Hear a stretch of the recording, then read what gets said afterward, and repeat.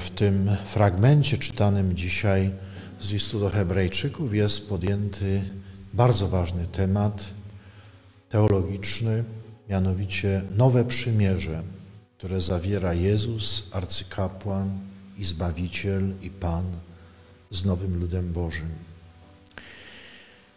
Zdaję sobie sprawę, że te tematy czasami mogą wyglądać na bardzo abstrakcyjne, ale one są egzystencjalne, życiowe. Żeby to można było może lepiej zrozumieć, to odwołam się od samych, tak, do samych korzeni tej idei mm, przymierza. Wyobraźmy sobie, że dwaj przywódcy dwóch karawan czy dwóch plemion chcą zawrzeć ze sobą przymierze, że wystąpią przeciwko komuś trzeciemu, albo że będą wzajemnie się wspierać w przypadku najazdu przeciwnika. Najstarsze ślady, jakie mamy tego typu na Bliskim Wschodzie przymierzy, y, były zawierane w taki sposób, że oto budowano dwa ołtarze. Na tych dwóch ołtarzach składano ofiarę i ciało zabitego dużego byka pewnie mm, rozpoławiano i jedną połowę dano na jeden ołtarz, drugą połowę na drugi ołtarz i pozostawiając przejście pomiędzy tymi ociekającymi krwią połowami zwierząt.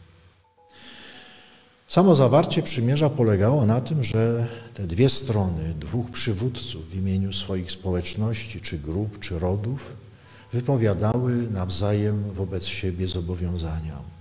Jeżeli ty pójdziesz, to ja pójdę za tobą. Jeżeli ktoś ciebie zaatakuje, to ja przyjdę ci z pomocą.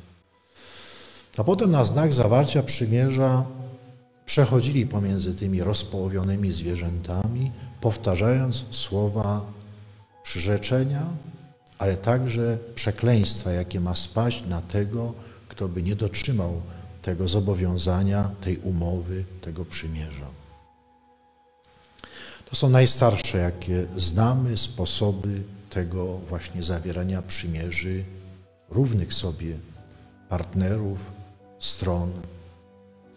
Problem jest w tym, że właśnie taki model ludzkiej współpracy, umowy, przymierza przyjmuje także Bóg i proponuje przymierze już innego porządku pomiędzy Bogiem, pomiędzy Stwórcą, pomiędzy tym, który wszystkim obdarowuje człowieka i człowiekiem, dokładnie mówiąc, ludem Bożym.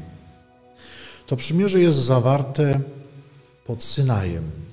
Jest odczytywane to, co Bóg dał i co obiecuje, i jest także zobowiązanie, nazwijmy dziś, moralne, które bierze na siebie lud Boży oczekujący Bożego błogosławieństwa i ochrony i zbawienia. Jest krew, którą jest pokropiony lud. Jest to przymierze, które powinno być zawarte. Ale to przymierze jest łamane, jest zrywane, jest niedotrzymywane nie tylko przez zwyczajne upadki człowieka, który nie szanował rodziców, zabił, cudzołożył, kradł, kłamał, ale także przez odstępstwo nieraz całego narodu. Prorok Jeremiasz w 31 rozdziale zapowiada, że przyjdzie taki czas, kiedy będzie nowe przymierze. Właśnie dlatego, że tyle razy to przymierze, które Bóg zaproponował z wielką korzyścią dla człowieka, że ono zostanie nowe zawarte. Greckie słowo kaine diatrike oznacza nowe przymierze, ale w znaczeniu takim, że zupełnie nowe. To jest tak, jak mówimy też w Apokalipsie przynajmniej mamy, że oto czynię wszystko nowe. Mówimy o znowu kainektisis, nowym stworzeniu.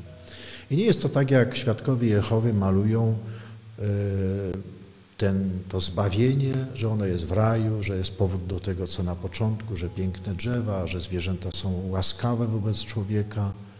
My wiemy, że jest nowe niebo i nowa ziemia i to jest nieporównywalne do tego, i tego się spodziewamy, co było. Prorok Jeremiasz zapowiada to nowe przymierze. Jakie ono jest? Po pierwsze, ma ono być wypisane w sercu człowieka, nie na kamiennych tablicach, nie wypowiedziane ustnie. Człowiek w sercu będzie to rozpoznawał. Realizacja jest właśnie taka, że to Duch Święty wypisuje w naszych sercach to słowo przyrzeczenia, słowo prawa, porządek moralny, zachętę do tego, co dobre.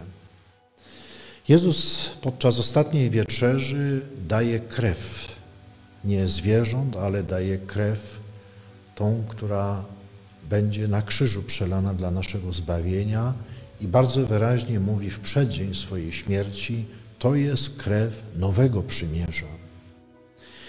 I wreszcie Jeremiasz zapowiada, że to prawo będzie powszechnie znane, że nie trzeba będzie właśnie, żeby jeden drugiego pouczał, jak ma żyć, aby być i pozostać w przymierzu z Bogiem. Pomyślmy z wdzięcznością o Jezusie, który nie tylko jest arcykapłanem, ale jest także tym, który zapośredniczył to przymierze z Bogiem przez swoją krew, przez to prawo, które ogłosił już nie na górze Synaj, nie wlókł nowego ludu Bożego na pustynię, ale ogłosił na górze w postaci ośmiu błogosławieństw i posłał Ducha Świętego, ażeby to prawo, to przymierze było w naszym sercu, żeby to Duch Święty nas pouczał, a nie pouczał jeden drugiego, czy żebyśmy nie potrzebowali szukać jakiegoś mądrego uczonego w piśmie, żeby nam wyjaśniał, co oznacza takie czy inne przykazanie Boże.